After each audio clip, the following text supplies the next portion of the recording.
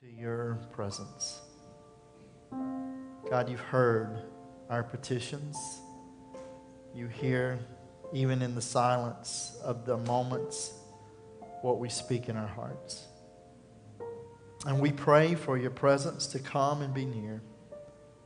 Continue to guide us, continue to lead us, continue to help us trust in you.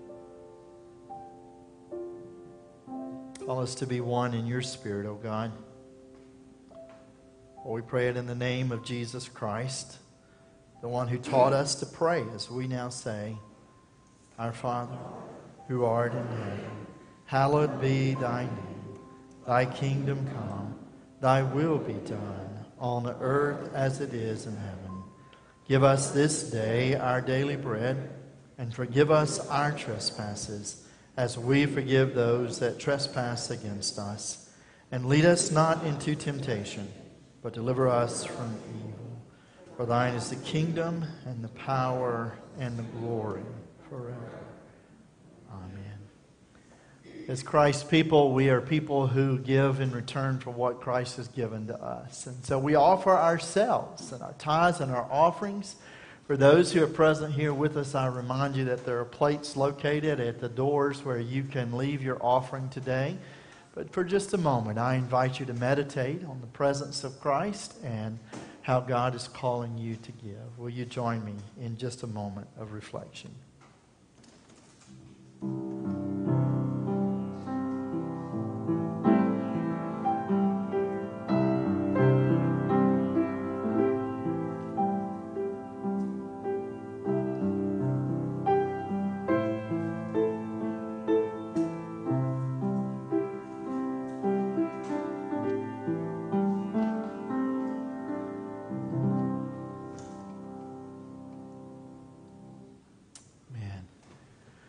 Those who may be joining us virtually, welcome. We're so glad that you're here and have joined us today, and we are so grateful to be able to have this opportunity to share life with you as we seek the God who's already seeking us and seeking to live in relationship with each of us. What a blessing it is to have you join us today. I want just to, to take a quick moment to remind you that we're in the middle of Wells Fest season. We're going to be doing Wells Fest virtually this year, and I invite you to join us. There are plenty of opportunities to look on our website and to have our emails that will share with you the details of that, and we will certainly want to, you to, to participate with us. So we're grateful for this opportunity. And so we're in the moment uh, as you join us here uh, in progress of our worship. We're at the moment of sharing our shared scripture reading, which is today from Psalm 19, verses 1 through 10. And I invite those who are present here and you where you are to stand and join me as we share this reading together responsibly. Verses 1 through 10 of Psalm 19.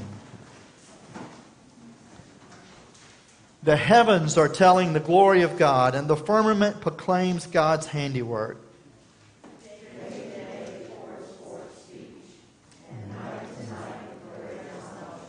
There is no speech, nor are there words. Their voice is not heard. Yet their voice goes out through all the earth, and the words to the end of the world.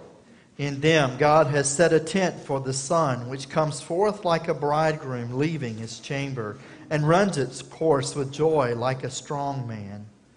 Its rising is from the end of the heavens, and its circuit to the end of the earth and there is nothing hid from heat. The law of the Lord is perfect, reviving the soul. The testimony of the Lord is sure, making wise. The precepts of the Lord are right, rejoicing the heart. The commandment of the Lord is pure. The fear of the Lord is clean, enduring forever.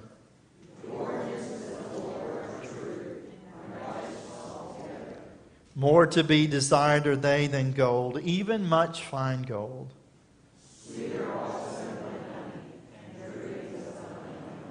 Amen. You may be seated.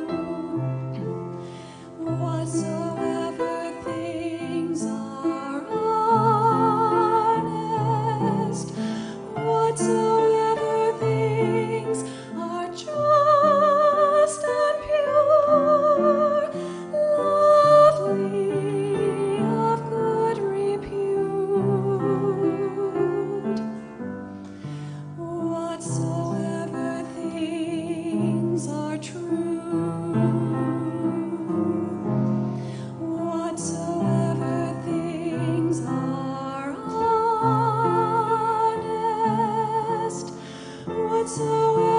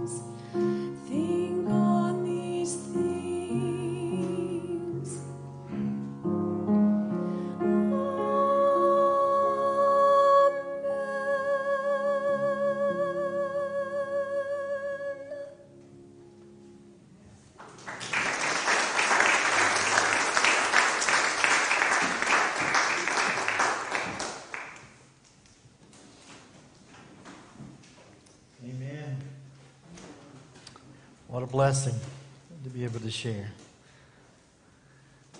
We began a journey last week in Mark's Gospel with Sue, and I am so grateful that Sue was here and, and did uh, wonderfully filling in. I've heard that I could just leave anytime, it'd be okay.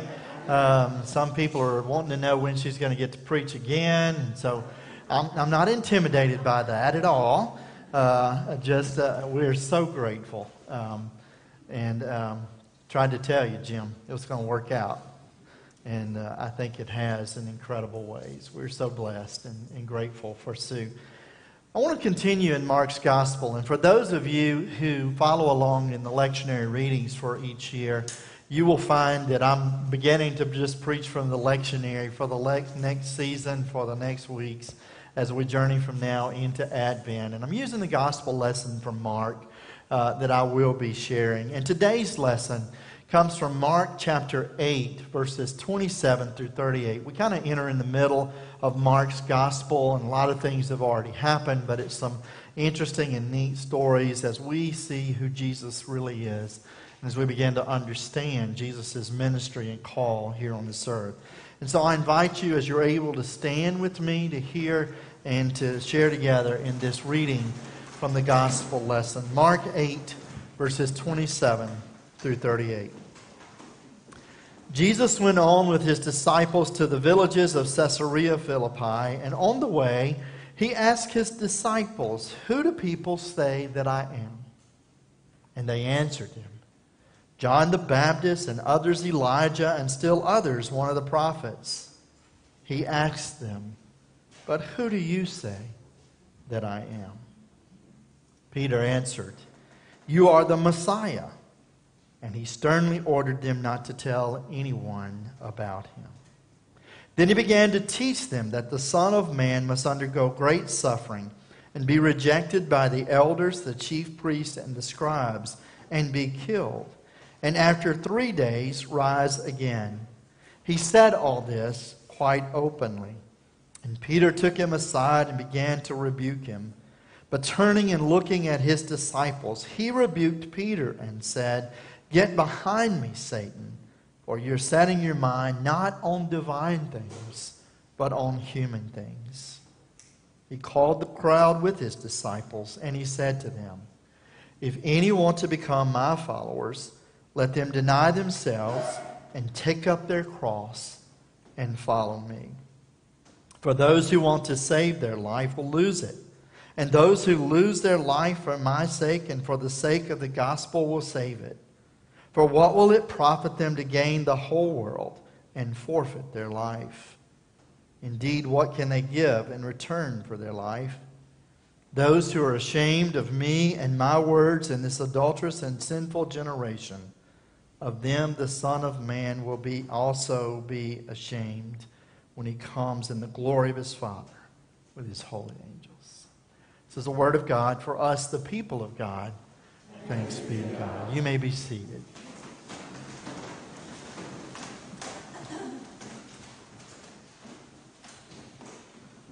Again, we enter into the middle of a story.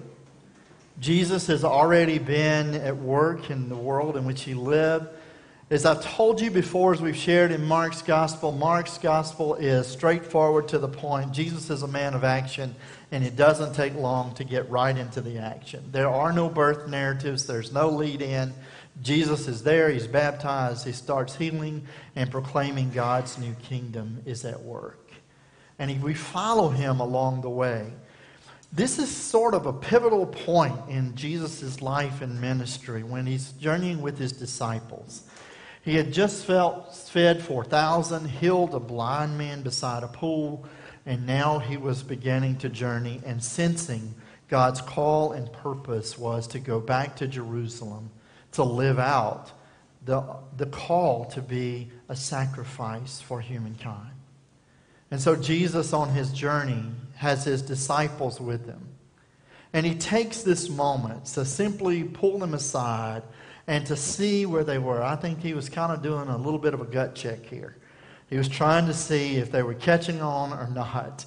He was trying to see what was taking place. And so he posed with that inner group of disciples that are following him this question Who do people say that I am? When I first started ministry in the 80s, there had been uh, this wonderful play that had been done in Georgia called the Cotton Patch Gospel. It was done in the early 70s. Anybody remember that or seen that or stumbled across that? The Cotton Patch Gospel. It set the story, biblical story, and the encounter of Jesus uh, in the gospel narratives in the context of uh, a southern Georgia town. And so things were happening in that context. I resonated with it because I spoke the language, right? Very well. and I can remember this point in that scene, which was seemed to be the pivotal moment.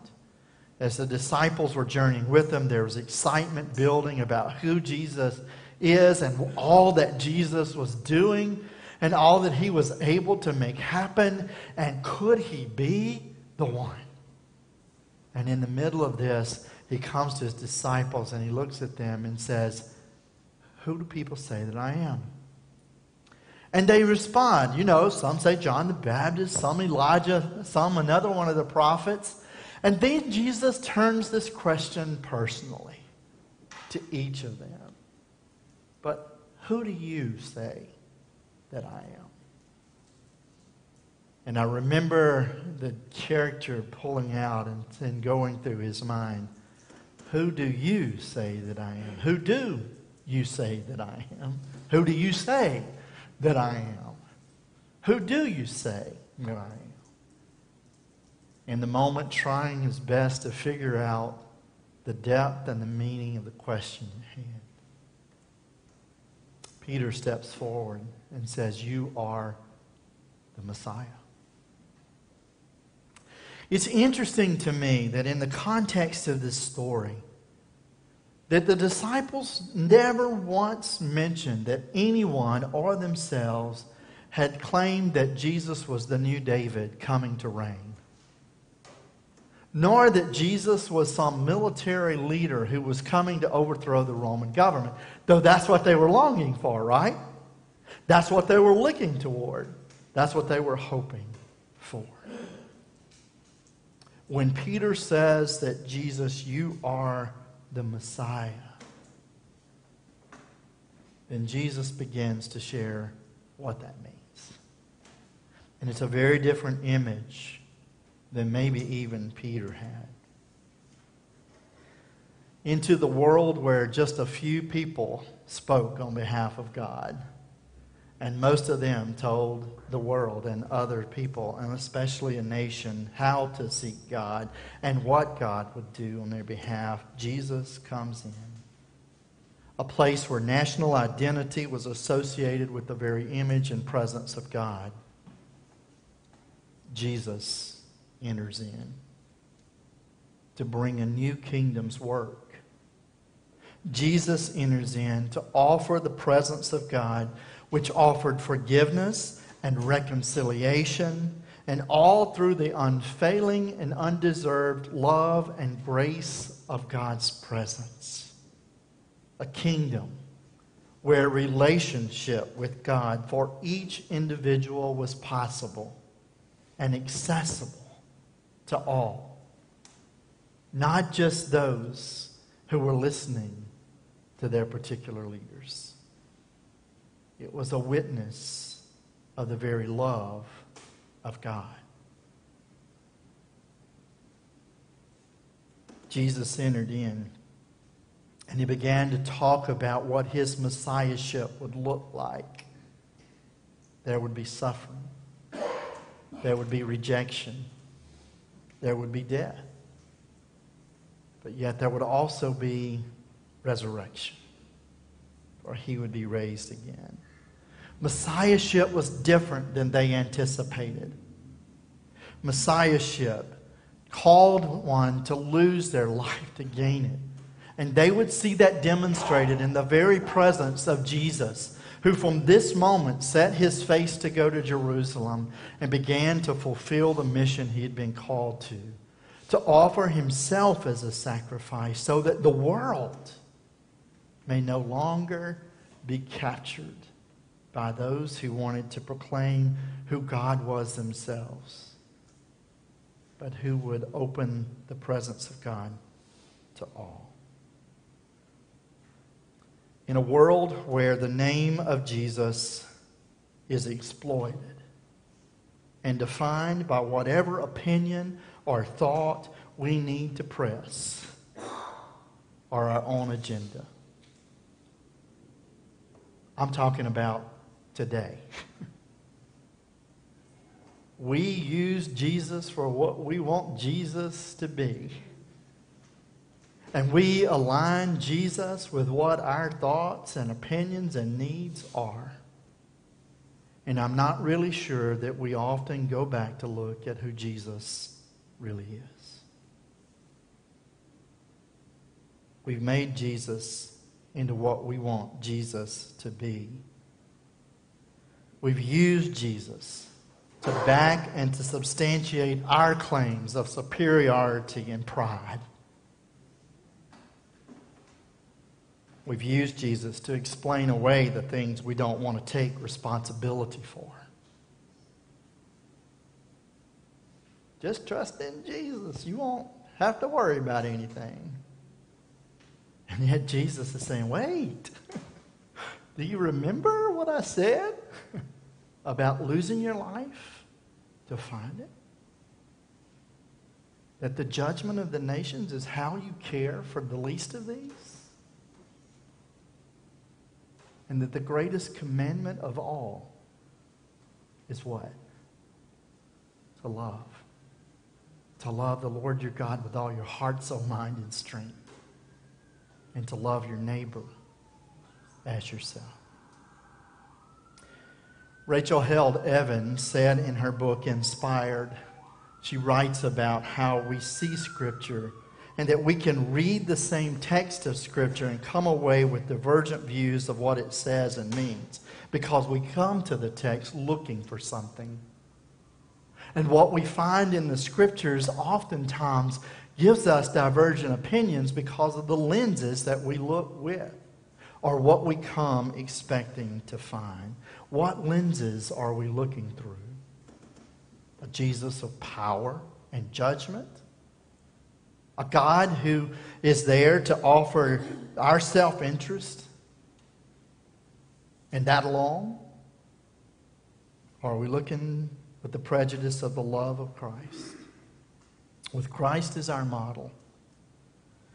Sometimes, Rachel Held Evans says, it's more important than asking the question, what does it say, to ask the question, what am I looking for? It's the reason we find backing for what we want to believe. And yet, Jesus reminds us that He came to be God's presence in our midst. That He came to be Emmanuel, God with us. That He came to turn life away from the injustices and from those who wanted to capture who God was and sell him, or to postulate him as their own opinions and their own image, and to bring freedom for Christ and for God to be present with all people, and to offer forgiveness and grace, and to have love as the driving force of who he is. Who do you say that I am? Jesus says. Peter said, You are the Messiah. And when Jesus began to share what his messiahship would look like, Peter rebuked him. Oh, no, no, no, no, no. Let me tell you what you're going to be. And Jesus said, Get behind me.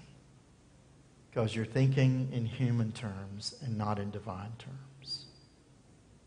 We have to take the journey to think in divine terms and to see Jesus for who Jesus really is the one who's come to give life, to offer a kingdom not made with hands, a kingdom where love and grace reign, and a kingdom where God is able to transform each and every life because of his presence. We have to listen, to have faith, and to pursue God with all that we are. To truly understand the presence of who Jesus is. Who do you say that I am? Jesus says. May God grant each of us grace. And may God lead us with his presence until we truly know who Jesus is and proclaim Jesus to our world that can transform even this moment for the power and presence of God. Amen, amen. and amen. We give thanks for the presence of Christ that is constantly with us. And for this table and for this meal, which reminds us of God's presence. Because on the night in which he gave himself up for us, Jesus took bread and broke it and gave it to his disciples and said, Take and eat. This is my body which is given for you. Do this in remembrance of me. When the supper was over, he took the cup and blessed it and passed it and said, Drink from this, all of you. This is my blood of the new covenant poured out for you and for many for the forgiveness of sins. Do this as often as you drink it in remembrance of me. It's because of these mighty acts in Jesus Christ that we're offered a place and that we're given an opportunity to come to know who Jesus really is and to live our lives not alone, but in relationship with the God who loves us. Pour out your Holy Spirit on us as we gather and on these gifts of bread and wine. Make them be for us the body and blood of Christ, that we may be for the world the body of Christ, redeemed by your blood. By your Spirit, make us one with Christ, one with each other, and one in unity to all the world until Christ comes in final victory and we feast at his heavenly banquet. Through your Son, Jesus Christ, all honor and glory is yours, Almighty Father, now and forever. Amen. Body of Christ given for you. The blood of Christ shed for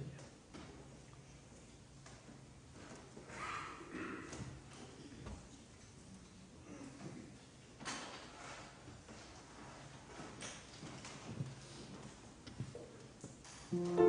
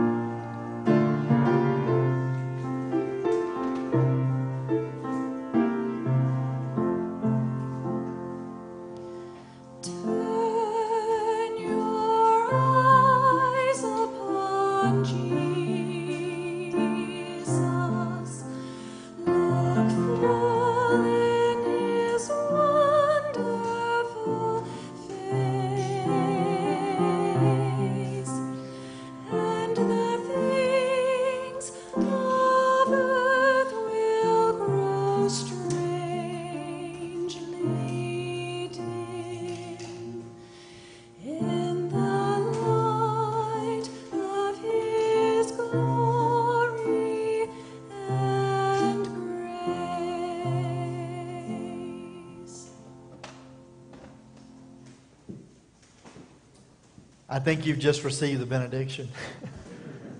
As we go forward. And all I'm going to say is amen and amen. Amen. Thank you, Carol. Thank you. That was wonderful.